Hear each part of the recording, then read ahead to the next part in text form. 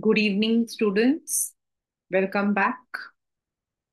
We are now proceeding with one more revision, and this is from your supplementary book, that is the third level. As per the exam, you may find this chapter bit complicated. You may find that it is uh, somewhat unrelated. But believe me, with this small revision session, you will be able to understand what the chapter is all about. Basically, the chapter is all about the psychological aspects. It is about the after war effects. In another word, when the chapter starts, it says the modern day worries, war. It is all about that. The chapter is about a man called Charlie, who is 31 years old as per the uh, text. And he is a normal guy working like all of us. One day he is stuck up and he is late. Therefore, he takes a shortcut. And there is the chapter which begins when he is taking the shortcut जब वो मतलब की shortcut ले रहा होता है तो उस वक्त में क्या होता है normally there are only two levels in the Grand Central Station मतलब उनका मानना है कि जो बिल्डिंग है उसमें पहला जो आपका है that is for the local train and local way and second for the outside but when Charlie enters तो वो इन कॉरिडोर्स के बीच में जाते जाते ही goes into another level which he calls as third level तो ये जो थर्ड लेवल है it is actually not existing it doesn't exist but उसको लगता है कि दैट एग्जिस्टेड बिकॉज़ जब वो मूव कर रहा होता तो उसको ऐसा लगता है कि जिस तरीके से रूट्स अपने जो है पेनिट्रेट करते हैं इनटू द सॉइल सिमिलरली वो जो एरिया था, वो धीरे धीरे धीरे अंदर चलता ही जा रहा and there was a time when he could find nothing but only his own footstep उसको सिर्फ़ अपनी ही फुटस्टेप की आवाज़ सुनाई दी. और जब वो वहाँ पे पहुँचा तो एवरीथिंग वॉज़ ओल्ड फ़ैशन सब कुछ पुराने टाइप का था। मतलब जो लोग थे they were wearing the hat which was old fashion the spittoons वहाँ पर जो स्पिटून्स रखे हुए थे वो भी पुराने थे। Uh, जो वहाँ लोकोमोटिव थे इंजन थी वो भी पुराने टाइप की थी। And everything that is before the world wars and उसने वहाँ पर एक न्यूज़पेपर देखा which stated that it is 1894 वो रह तो रहा था आफ्टर वर्ल्ड वॉर में but that news paper reflected this year अब उसको लगा कि भाई, ऐसा कैसे हो सकता है? एंड ये वाला जो न्यूज़ पेपर था he had read something somewhere उसने इसको देखा था in a public library anyway he went into the went to the ticket collector उसको बड़ा अच्छा लगा, उसको कि if I buy a ticket for myself and my wife then I will be able to go to the place जो उसके बचपन का, बचपन की जगह थी जहाँ उसने अपने दादाजी के साथ अपनी चाइल्डहुड को स्पेंड किया था he would be able to go over there and excitedly, he took the money went to the ticket counter and produce the money उसे पैसा दिया उनको। बट जो टिकट कलेक्टर था he was angry why because the currency was very different वो जो ticket collector था, वो तो पुराने टाइप का था 1894 और अभी तो चल रहा था 1900s का। तो द टिकट कलेक्टर रेप्रीमांडेड है मुझको उसने गुस्सा किया, उसने कहा कि ये जो नोट्स तुम दिखा रहे हो they are not money and I am going to hand you over to the police anyway Charlie was scared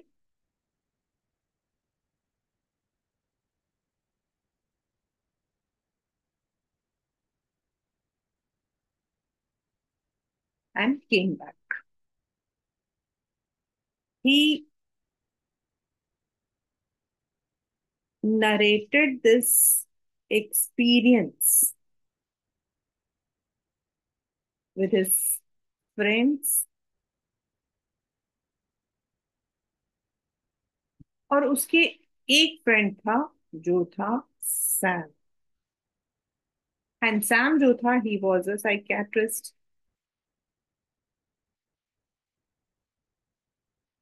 Sam ने उसकी स्टोरी को बिलीव नहीं किया।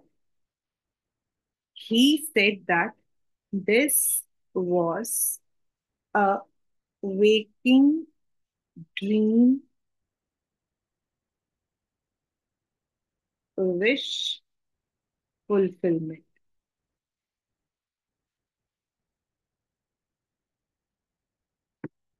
Why?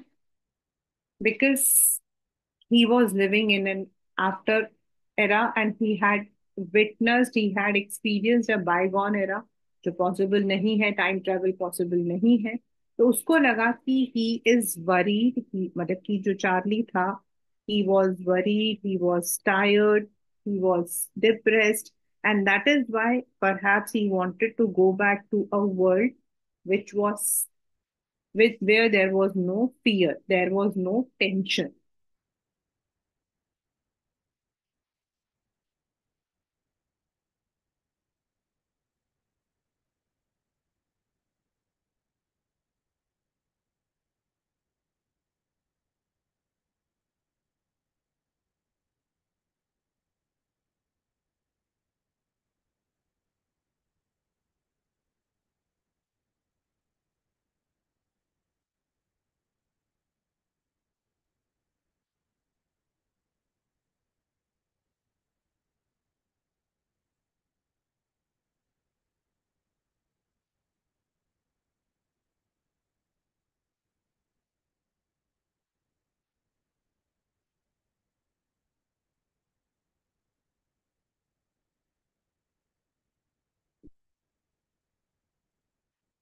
yet Charlie was not convinced Charlie को लगा कि नहीं सैम समझ नहीं रहा है he had actually experience the third wave therefore he took all the money he withdrew some money from his almost around three hundred dollar उसने जो है अपने बैंक से विड्रॉ किया. And bought the old currencies और पुराने type की जो करेंसी है, वो उसने ली। एंड ही कन्विंस हिमसेल्फ उसने कैसे कन्विंस किया कि ये पैसे तो मेरे लिए it is just like a treasure because पुराने जमाने में तो एवरीथिंग वॉज़ सो चीप और ये कन्विंस करके he took this money and he wanted to return to 1894 and settle down along with his wife Louisa जब उसकी वाइफ को पता लगा तो शी वॉज़ ऑल्सो वरीड कि why he was talking about such things and she asked him not to look for that area लेकिन फिर वो जो है he was on the move he never found it कैसे फाइंड करेगा? It was not existing anyway उसने जो है अपना, जब वो बच्चा था तो he use to collect stamps which his grandfather had imbibed him in. ये जो हैबिट था, उसके ग्रैंडफादर ने उसको डाला था। तो वो अपने स्टैम्प कलेक्शन के जो हॉबी है, उस पर दोबारा से वापस गया। ही रिजॉर्टेड बैक एंड उसको तब भी लग रहा था कि थर्ड लेवल रहता है। और सैम जो कुछ दिनों से दिखाई नहीं दे रहा था। He had perhaps disappeared. इसको ऐसा लगा he assumed that Sam must have gone to Galesburg only. Now the question is कि why he must have gone to Galesburg?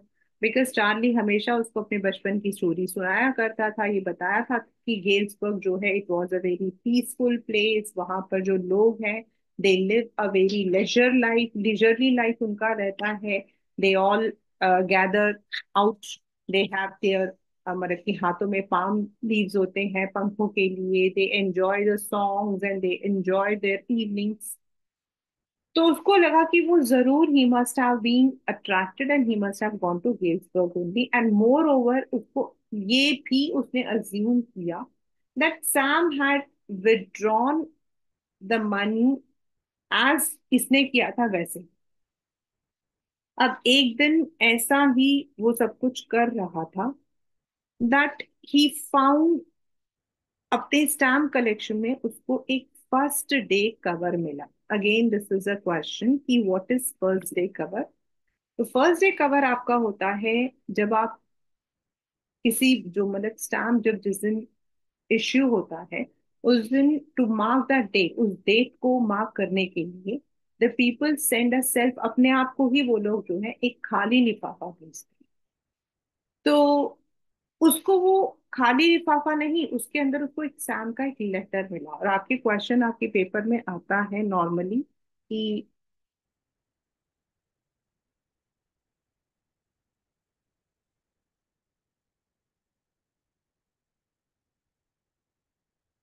आपको सैम के लेटर से क्या पता लगा? And according to that letter the letter was dated back and it was return to his old address और उसके अंदर जो है, उसमें लिखा हुआ था कि he had found the third level and through the third level he had gone to Galesburg there he was enjoying and he had even invited Louisa and Charlie to come over there अब Sam जो है, वो सोचने लगा कि what he must have done over there क्योंकि Sam तो psychiatrist था। फिर इसको लगा कि जब ये कहानी सुनाता था तो सैम कहता था अक्सर कि अगर उसको मौका मिलेगा तो he would do a grain business उसको लगा पुराने जमाने में तो लोगों के पास टेंशन था ही नहीं. So they never needed any psychiatrist therefore he must be practising his grain business तो mainly class twelve this is all about the unhappy state of people following the two world wars it manifest our inner trauma क्योंकि पहले जो life normally कहा जाता है it was a beautiful life a life without any tension ऐसा नहीं कि उनको टेंशन नहीं थी। Tension was there but not in a hurry burry. They did not live in a monotonous life अब हमारे, हम लोग कैसी लाइफ रहते हैं? ये तो फिर भी नाइनटीन हंड्रेड्स का है, हम तो और भी मोनोटोनस लाइफ रहते हैं।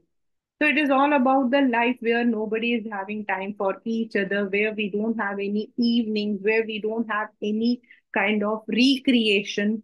And जो पहले होता था, people used to have, they used to sit, they used to have time for their family. Life ऐसी नहीं थी, business नहीं थे. The uh, the um, globe was not developed to this extent. So people definitely had lots of time and they used to enjoy. अब हमारे पास जो है we are having that work तो जो अभी हमारा कल्चर है, वो वर्क कल्चर है, वो लेजर कल्चर था। तो in another way this particular chapter is all about the theme escapism यानी कि भागना। इट इज़ ऑल्सो एस्केपिज्म का मतलब ये नहीं है कि he wants to die he wants to end it is also connecting that nostalgic feeling जब life was unaffected by wars So this is the chapter third level. Now let us come to the questions. You may get a question on the theme, and the theme is escapism. Escapism means when you are running away from any problem. Then, of course, the questions जो अभी तक आए हैं like what uh, waking waking dream wish fulfillment what is that what do you infer from Sam's letter? What is first day cover all about? Then उसके अंदर उस मतलब कि एक statement वो देता है that the roots of third level seem to be penetrating. So what does that mean? That means there was no ending.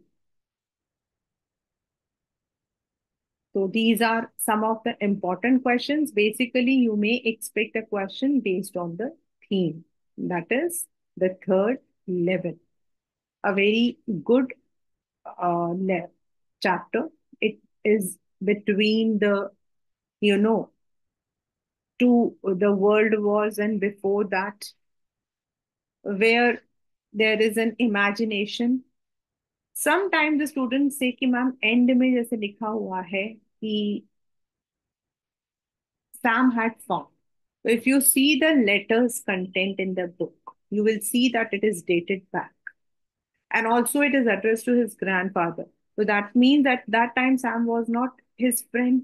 तो वो कैसे लिख सकता है and definitely आप सोचो कि now it is 31 years so at that time what, what would have been his age तो ये जो सैम का गायब होना या फिर सैम का जो लेटर मिलना है all was his assumption only it was not anything in real. It was only an assumption. Maybe he was not available. तो इसको लगा कि शायद ये वहाँ पहुँच गया, क्योंकि उसके दिमाग में ये बात थी कि थर्ड लेवल एग्जिस्ट करता है। He was sure that third level exist जबकि अगर आप देखो in the very beginning it is given कि all the people from the railways would take an oath that there is no third level तो वो जो सरकास्टिकली लिखा है ना दैट मीन्स कि the building comprise only of two levels तो third level तो वहाँ था ही नहीं। So that is the summary of the chapter, the third level.